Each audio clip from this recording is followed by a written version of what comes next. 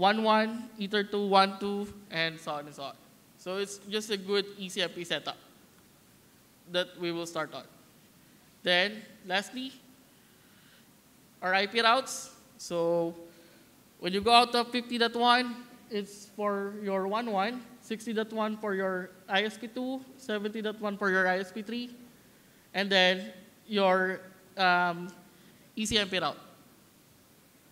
Okay, so this is your ECMP route. Then lastly, uh, in the basics is your DHCP on port number four. Okay, so we just set up triple one.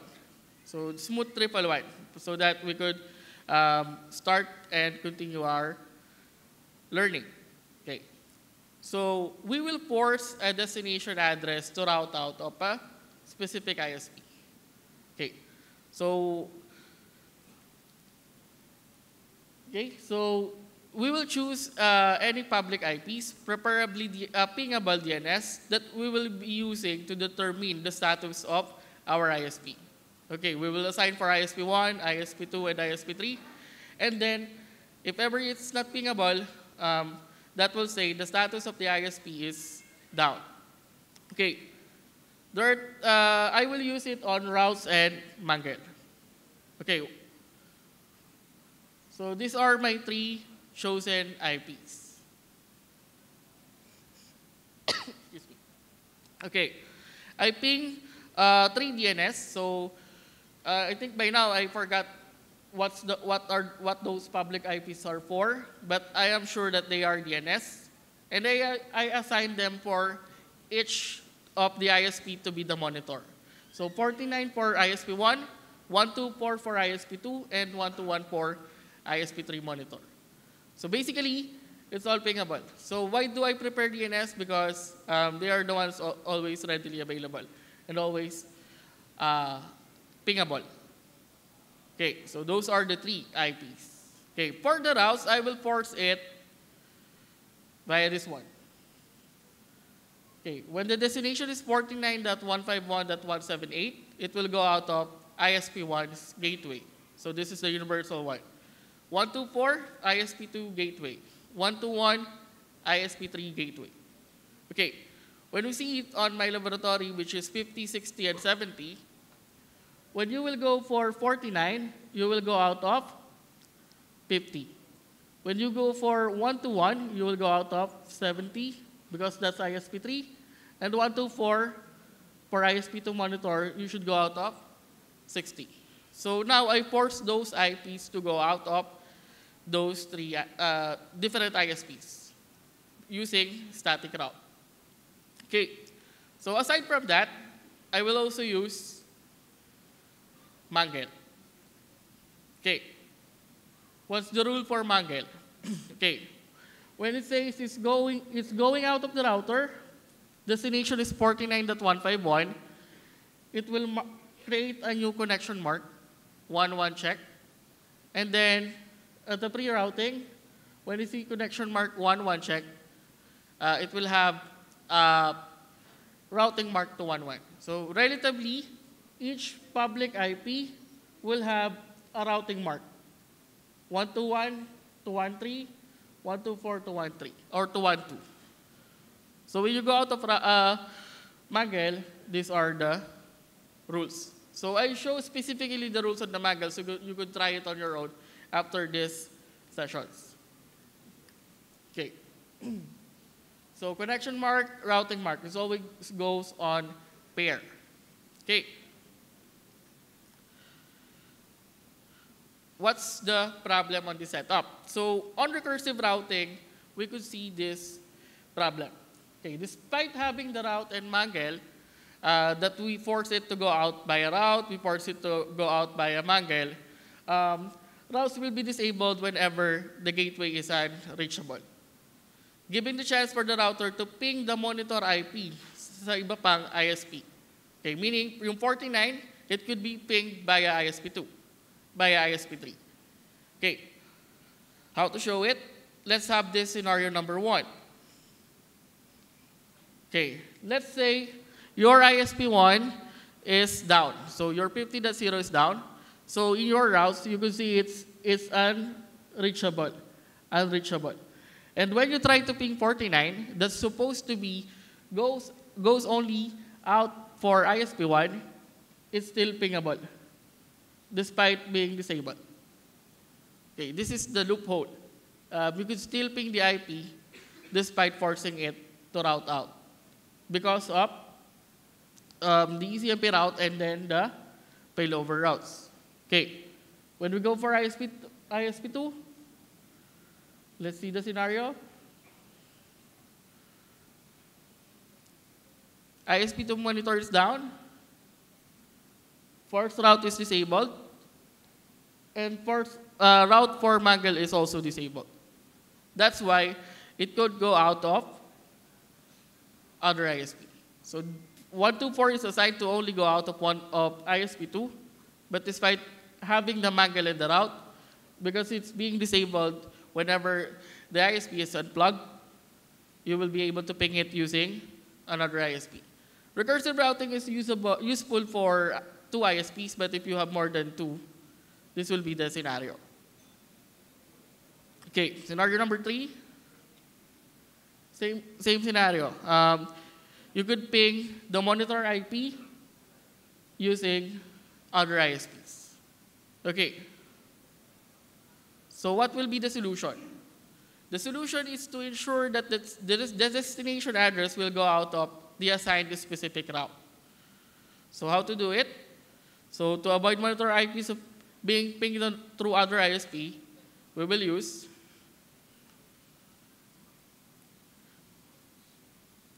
firewall filter. Okay. This is the first part of the firewall filter. When, uh, when, when the destination is 49.151.178, uh, going out of uh, port number 2, which is ISP2, action is to drop it. When it goes of ISP3, action is to drop it. Same thing as your 124, when it goes out of ISP1, drop it. When you go out of ISP2, ISP3, drop it. And the one-to-one, which is assigned for number, uh, your ISP3, when it goes off ISP1, drop it. ISP2, drop it. Okay. So, drop monitoring. Okay, so let's have this one. These are all the rules that are that we created on our firewall filter. Okay, so you have six rules, two, two per uh, public IP. okay, now we are assured that whenever 49 is unpingable, ISP1 is down. Whenever 124 is unpingable, ISP2 is down. Whenever 1 to 1 is unpingable, ISP is, ISP3 is down. Okay.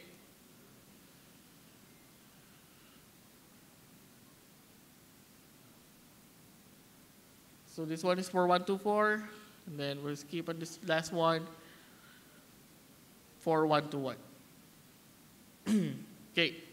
So now the results whenever you try to ping 49, even though ISP1 monitor is down, you cannot ping 49 anymore.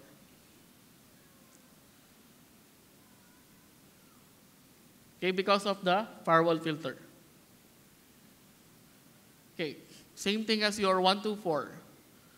When you try to ping it, and it tries to go out of ISP3, it will be dropped despite uh, having your monitor IP unreachable, you could still not ping 124.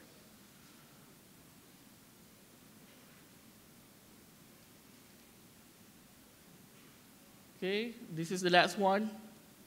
One-to-one is unpingable when ISP3 is down. Okay, now we know the status. Uh, we, uh, if ever the ISP, IP is pingable, it's up.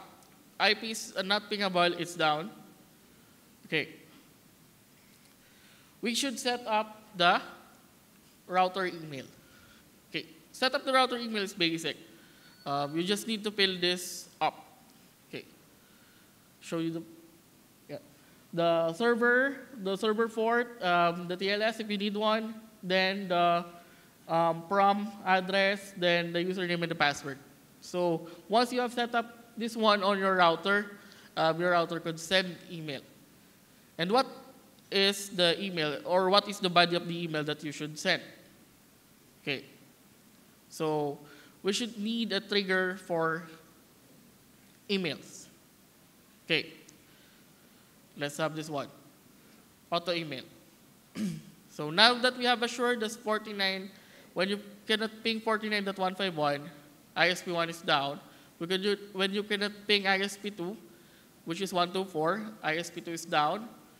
1 to 1, then ISP3 is down. We could now assign them as your triggers. Okay. We will use NetWatch. Okay, so these are the three NetWatch that we have created. Okay, what's inside each NetWatch? So auto email setup, it's one for ISP1. Okay. Time, uh, interval is just for 30 seconds, 50 seconds. Um, the uh, interference on how fast your ISP should be checked or the public IP should be checked. Okay, so it says that on up, it will send an email to asetflorlisa at gmail.com, which is my personal email. The subject is ISP1 is now up. Body ISP1 on Ether1 is now restored from the router, or you could assign any email. When down, okay, it will automatically email to automatically email to ace.flordeliza that ISP1 is down. Okay.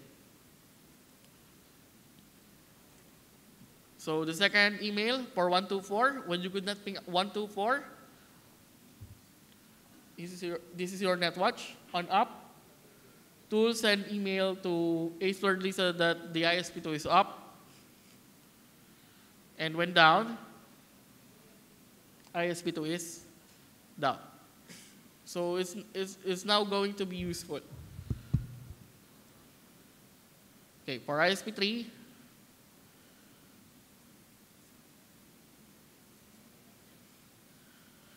for up, same.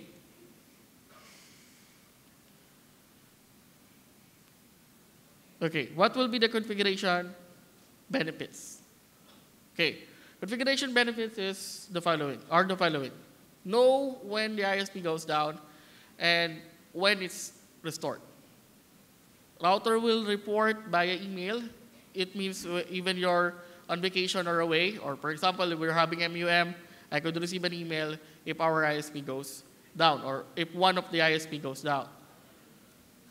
Okay? Is of mind that you don't need to manually check your ISPs especially if you have multiple ISP deployed.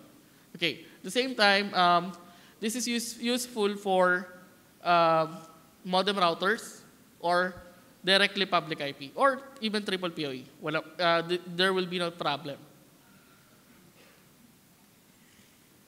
Okay, lastly, ensuring configuration will work even if the modem router is down or the ISP link disconnection or any forms of uh, internet source problem. Okay? Lastly is to thank you. If you have any other questions, um, you could go to our booth for this particular setup. And it's also, we also have a, prepared a board where you could see the setup, uh, the actual setup. And then, yeah, the question and answer. And, okay, my contact details. Okay, so I hope you have learned something and it will be useful on your side for this topic, um, multiple WAN with automatic email whenever, for the ISP status. Okay, so that's the,